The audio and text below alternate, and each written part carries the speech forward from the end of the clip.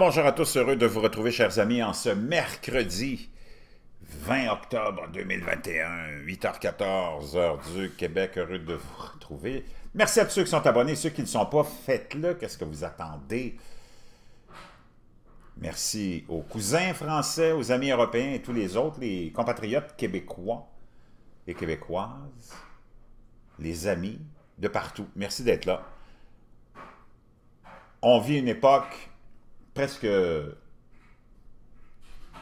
surréaliste. Tout ce qui s'est vécu avant, avant nous, a rien, rien euh, de comparable. rien de comparable, c'est pire que, les croisades, pire que bon, les grands déluges, on les vit, les grands chambardements climatiques, on les vit, politique, les guerres, les conflits partout, la disparition des droits et libertés partout aussi, dans ce fond de pandémie qui en finit plus de finir, on, on a réalisé tous ensemble que on n'a aucun droit et aucune liberté que des privilèges, et que ces privilèges-là te sont enlevés par ton autorité locale si tu les défies lorsqu'ils te demandent de faire quelque chose on a réalisé qu'on n'en avait pas de droits et libertés, que c'est que fictionnel, c'est un papier qu'on met sur les murs des parlements pour se donner belle jambe du côté des dirigeants. Mais qu'en pratique, puis en réalité, dans la vraie vie, tu n'en as pas de droits et libertés. C'est des privilèges, puis quand tu désobéis à l'autorité, ben, tes privilèges te sont enlevés et ça va loin. Tu peux même perdre ton emploi si, pas, tu t'es pas plié aux exigences actuelles qui sont très bizarres. Tu ne pourras pas fonctionner normalement, tu ne pourras pas faire les activités au quotidien de ta vie simple, aller au restaurant ou au gym, si tu t'es pas plié aux exigences du moment. Très étrange tout ça dans un fond global de transformation totale, je vous l'avais dit, préparez-vous, ce qui s'en vient, c'est pas un cadeau, ça fait des mois, des même quelques années, mais des mois surtout que je vous dis, préparez-vous. Tout est aligné, il y a plein de gens qui le disaient aussi, des gens, des sommités, moi je suis rien là-dedans, mais je le sais, puis vous le savez, on a des instincts, on a un sixième sens, c'était écrit dans le ciel que ce qu'on nous réservait, c'était brutal et c'était total. Et c'était une transformation unilatérale de nos systèmes, de nos vies. Oublie les dépressions économiques, les crises économiques. Ça, c'est de la distraction politique. C'est du n'importe quoi. Parce que depuis qu'on est né, moi, depuis que je suis né en 1962, je suis en état de crise économique. On est toujours en crise économique. Donc, ça, c'est du n'importe quoi. Le système dans lequel on vit depuis 250 ans, le modèle social, économique, politique est en train de changer. Tout est en train de se transformer et de s'écrouler. Ça, c'est majeur. Des crises économiques, si tu te fies aux indices, aux experts qui n'ont jamais créé un job de leur vie, hein, c'est ça qui est toujours fascinant, on s'en remet toujours aux experts économiques qui n'ont jamais rien accompli économiquement, aux experts politiques qui n'ont jamais rien accompli politiquement, aux experts militaires qui nous ont mis dans toutes les problèmes de la Terre, on s'en remet toujours à eux pour nous expliquer puis nous trouver des solutions, alors que c'est eux qui nous ont mis dans le trou au départ. Anyways, je ne vais pas m'allonger là-dessus. Je vous avais dit, préparez-vous. Sans savoir vraiment dans le détail ce qui s'en venait, c'était bien écrit dans le ciel que l'espèce de neutralité, l'espèce de zone hein, neutre, de confort dans laquelle on était depuis des siècles, nous, les pays industrialisés, c'était et ça tirait à sa fin. Mais pas totalement, mais pour l'ensemble de la population, pour la classe moyenne et en bas. Les riches, les dirigeants, c'est toujours les dirigeants, puis les riches, c'est toujours les riches, puis c'est toujours les mêmes. Ça, ça ne change pas, peu importe le système. Le système il est là, en place, solide, partout dans le monde. C'est un système unique avec différentes succursales. Dans le fond, tu pourrais comparer les gouvernements et le système mondial à une grande chaîne de commerce ou de restauration rapide hein, que des franchises, qui a un modèle clé en main, puis qui le vend à des incompétents qui sont qui n'ont jamais fait de restauration dans leur vie, mais qui peuvent acheter un concept de restaurant, de chaîne organisé, structuré, avec de la publicité, du support, puis on te remet toutes clé en main, construit pour toi, puis tu l'opères. Puis tu es au service, parce que quand tu achètes un restaurant d'une chaîne, comme franchisé, tu es au service de la structure supérieure. Puis il faut que tu leur payes des redevances, puis il faut que tu suives les règles, puis les consignes. Même chose pour les gouvernements des 165, 166 pays inscrits aux Nations Unies. C'est tout le même modèle. Je ne sais pas si vous avez remarqué. Tout un parlement, tout des cours de justice, tout un système de police, un système de pompiers, système d'éducation, système médical, euh, système juridique, système politique, municipal. Tout est pareil. Fonctionne de la même façon une élite qui dirige, locale. Donc, c'est les élites locales qui sont les franchisés. Puis ils répondent au gros gouvernement mondial qui leur donne des ordres. C'est comme ça que ça marche. Ça ne prend pas la tête à Papineau, puis tous ceux qui sont là-dedans sont soumis à cet ordre mondial-là. On ne parle pas des backbenchers, des députés qui sont là comme figurants. Eux autres ne savent même pas ce qui se passe. Ils sont juste contents d'être là. Ils sont juste contents d'avoir une grosse belle paye, à rien faire, puis à profiter du système il n'y en a pas beaucoup qui sont vraiment au courant de ce qui se passe. Ça, c'est dans les hautes sphères du gouvernement local. Le premier ministre ou la première ministre ou le président, puis ses acolytes très proches. Eux autres, ils répondent directement. Mais même des fois inconsciemment, mais ils répondent. Donc, de penser que tu peux changer quelque chose par la politique, il faut vraiment maintenant, il faut que tu passes à autre chose. Puis là, cet ordre mondial-là a décidé de nous emmener dans un autre système. On nous prépare déjà depuis quelques années, mais là, la pandémie, a été l'élément déclencheur. Tout s'écroule en même temps. Puis c'est une bonne excuse pour passer à autre chose. Crise énergétique mondiale, tu le vois en Europe, les prix vont augmenter de façon exponentielle. D'ailleurs, euh, l'Associated Press ce matin nous dit la crise énergétique frappe la reprise mondiale à l'approche de l'hiver. Les pénuries d'électricité éteignent les lampadaires et ferment des usines en Chine. Associated Press qui nous raconte ça. Les pauvres au Brésil choisissent entre payer pour la nourriture ou l'électricité. Les agriculteurs allemands de maïs et de blé ne trouvent pas d'engrais fabriqués à partir de gaz naturel, et etc., etc., et les craintes grandissent hein, face à l'Europe qui devra rationner, rationaliser, imaginez-vous, l'électricité. Si l'hiver est froid, et l'hiver va être froid, c'est une crise énergétique mondiale puis vous additionnez à ça les problèmes supposément de chaîne d'approvisionnement partout. Il y a vraiment des problèmes partout, nous raconte CBS. Les gens thésaurisent, les pénuries alimentaires sont le prochain resserrement de la chaîne d'approvisionnement, nous raconte Bloomberg. Je vous laisserai tout ça, vous irez lire ça. Le matériel agricole rare et cher les agriculteurs sont inquiets face à des pénuries d'équipements. Comment est-ce qu'on va nourrir le monde? Je vous l'avais dit, ça. Le Wall Street Journal, Procter Gamble, Ikea et tous ces grands-là fouillent dans leurs poches pour aller essayer de remettre un petit peu d'ordre dans le désordre de la chaîne d'approvisionnement. Les fabricants de déodorants, de dentifrices et de tout ce que tu peux imaginer vont être obligés de voir les prix et les prix vont augmenter comme c'est pas possible de tout ce que tu peux imaginer. Les perturbations de la chaîne d'approvisionnement, nous dit The Hill, sont-elles le début de la fin de la mondialisation? Je pense pas. On est en train d'installer un autre système. Tu as la grande démission, un mouvement mondial maintenant, hein, je vous en avais parlé.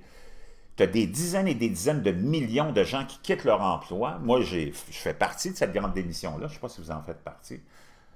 De toute cette vague de parce qu'on a eu une réflexion tous, hein, autant qu'on est pendant cette pandémie, où on a même eu un couvre-feu comme dans une loi martiale, au Québec et ailleurs, tu ne pouvais plus euh, sortir de ta maison après 20 heures. Hey, imagine-toi pendant des mois et des mois, tu as vécu tout ça sur le prétexte de je sais pas quoi, mais en tout cas, c'est à vous autres de, de conclure sur ces histoires-là. Moi, je ne veux pas m'étendre là-dessus mais on a vécu une loi martiale couvre-feu, imagine-toi, comme dans les pays, je ne sais même plus lesquels, même en guerre, tu n'as pas de couvre-feu des fois. Donc, il y a un mouvement de grande démission, même de grande séparation et divorce. Moi, je me suis euh, séparé d'une femme que j'aime pas puis que j'aime plus depuis longtemps. La pandémie m'a fait réaliser qu'il fallait qu'on se foute là, man. On a fait une période de grand ménage, je vous l'avais dit, il y a des, des orientations de cycles et de planètes qui sont là, tout aligné pour qu'il y ait plein de changements. C'est comme ça, c'est cosmique, puis on fait partie d'un grand système universel, puis on est tous interconnectés par cette énergie, puis quand il y a des choses comme ça qui se passent, des alignements de planètes, tout le monde est affecté, que tu le veuilles ou non. Des millions et des millions de gens démissionnent de leur emploi, ils sont insatisfaits, veulent faire autre chose, sont mal payés. Là, les employeurs font face à une crise d'emploi. Pendant des décennies, ils ont exploité le monde. Là, ils veulent donner des augmentations de salaire, des bonus. Il est trop tard, le monde est parti, puis ils font autre chose. Moi, entre autres, j'ai quitté un emploi dans le service. J'en ai gardé un le soir, mais j'en avais deux. Ça fait 30 ans que je fais ça, serveur. Mais là, c'était devenu insupportable. Les masques, le passeport, les cartes d'identité. Il fallait que je joue à un agent de la Gestapo pour que le monde vienne manger deux œufs bacon. Puis je voyais le monde qui venait faire ça, manger deux œufs bacon, puis qui avait accepté le passeport vaccinal. Je me disais, waouh, je ne peux pas servir ce monde-là parce que je en désaccord total avec leur action. On aurait dû. Tu peux accepter la vaccination sans aucun problème. J'ai aucun problème, je ne suis pas un anti-vax. Mais d'accepter une consigne comme le passeport, c'est un piège. On a mis le pied dans le piège à ours, puis il est trop tard. Les gouvernements, les dirigeants mondiaux sont morts de rire parce que vous étiez trop égocentrique et égoïste, vous vouliez aller manger vos deux œufs bacon ou aller au gym, vous avez, vous avez accepté un système comme le passeport vaccinal, on aurait dû le refuser totalement. Dire oui à la vaccination, puis dire au gouvernement, Tiens ton passeport vaccinal, on n'en veut pas, on veut nos droits et libertés pour tout le monde. Mais encore, enfin, ce que tu veux que je te dise, c'est la grande démission mondiale, des dizaines et des dizaines de millions. C'est un mouvement mondial qui va prendre de l'ampleur, nous raconte Green Witch Time. Je vous laisse tout ça dans la boîte de description, OK? Boris Johnson nous dit qu'on va avoir un hiver difficile et long. La quatrième ou cinquième vague vient de commencer au Royaume-Uni, nous raconte Bloomberg. Je vous laisserai tous les liens dans la boîte de description. Vous vouliez savoir ce qui se passe, c'est toute une, histoire. Je l'avais dit, préparez-vous au pire. Politiquement, c'est l'enfer sur Terre pour le monde ordinaire. On s'en va vers un autre système. Le prix de l'essence va être à deux piastres d'ici quelques temps. C'est les plans du gouvernement euh, de la nouvelle administration Biden. On sait que les États-Unis, c'est quand même le pays le plus puissant au monde, puis c'est eux autres qui dirigent. Les Européens attendaient avec impatience le gouvernement Biden pour avancer avec le Green New Deal. C'est fait. Tu n'auras plus de possibilité d'acheter des voitures euh, au gaz, au pétrole d'ici cinq ans. Tous les constructeurs vont arrêter. Tu seras obligé d'acheter une voiture électrique qui va te coûter la peau des fesses, les taxes qui vont venir avec les impôts qui vont augmenter, le coût de la vie qui va augmenter, ça va être la misère pour la classe moyenne et en bas. Les riches, ils n'en ont jamais de problème. Les riches sont riches. Peu importe l'époque, puis les dirigeants, c'est eux autres qui sont à l'abri de tout aussi. Donc, c'est toujours le même monde qui paye. Les catastrophes naturelles vont se multiplier. On entre peut-être dans un grand minimum solaire. Plus la pollution qui n'arrête pas. Hein? avec la consommation et la consommation, mais il va faire froid aussi parce qu'on s'embarque peut-être dans un grand minimum solaire, des volcans qui n'arrêtent pas de tomber en éruption, des tonnes et des mégatonnes de cendres dans l'atmosphère qui viennent ajouter une couche déjà nuageuse qui, naturellement, bloque l'entrée des rayons de soleil qui, nous aussi, euh, euh, viennent contribuer à la diminution de la température euh, mondiale. La Nina en plus. Double dip, un hiver brutal dans l'hémisphère nord, record de grêle en Australie. Nous raconte Electroverse, les premiers signes du schéma de refroidissement, la Nina, devrait apparaître la semaine prochaine, mais le phénomène ne sera à son plus fort qu'après janvier. Préparez-vous. La Scandinavie reçoit des pieds de neige en début de saison, des averses de neige frappent la Corée du Sud plus tôt que prévu, et un effondrement mondial est à prévoir. Hein? Le gaz le charbon plus disponible en Chine, tout le monde va geler. En Europe, les prix vont être tellement chers, vous allez devoir peut-être choisir entre vous nourrir et vous chauffer aussi. Pékin subit la température d'octobre la plus basse en un demi-siècle alors que la ville gèle 20 jours plus tôt que la normale. De rares blizzards printaniers frappent l'Argentine. 18 octobre 2021, des fortes chutes de neige arrêtent Gillette. Hiver froid et orageux pour le Canada. Inconduite scientifique, le résultat de la diabolisation du carbone. Il mesure la neige dans les pieds à travers les montagnes rocheuses le jour le plus froid du début d'octobre en 125 ans. Frappe Seattle alors que le froid historique maintient les prix du charbon chinois à un niveau très élevé, 14 octobre. L'Australie occidentale enregistre la cinquième chute de neige de l'année, la deuxième la plus élevée, jamais enregistrée. Un pied de neige de printemps frappe la Nouvelle-Zélande, un record de fois frappe Seattle, la moitié du Cachemire est actuellement couvert de neige. 13 octobre.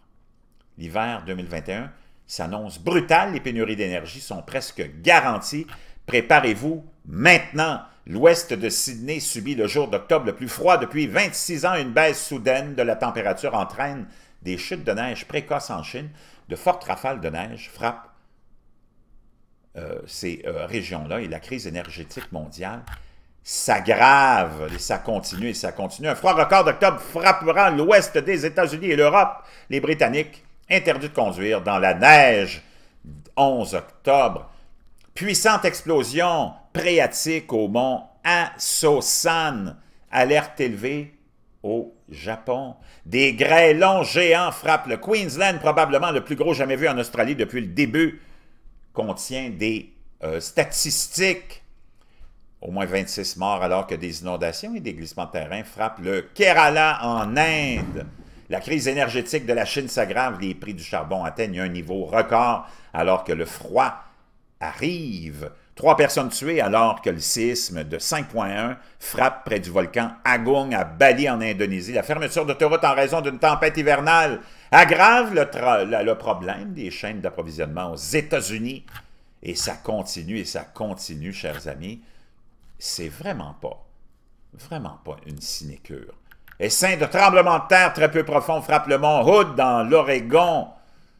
Déjà un mois après, aucun signe de ralentissement de l'éruption volcanique à la Palma. Peut-être euh, un tsunami bientôt, on ne le sait pas. Méga sécheresse en Californie, 100 ans de sécheresse. On bat les records enregistrés depuis 100 ans. Tremblement de terre à Bali, trois, trois morts, on en a parlé, et ainsi de suite. Chers amis, je ne sais pas, mais j'ai comme un petit pressentiment que l'hiver va être très long, mais comme je l'avais dit, préparez-vous à des années et des années de misère noire. Oui. Et tout ça dans des changements qui n'ont pas fini de vous bouleverser. Je vous reviens.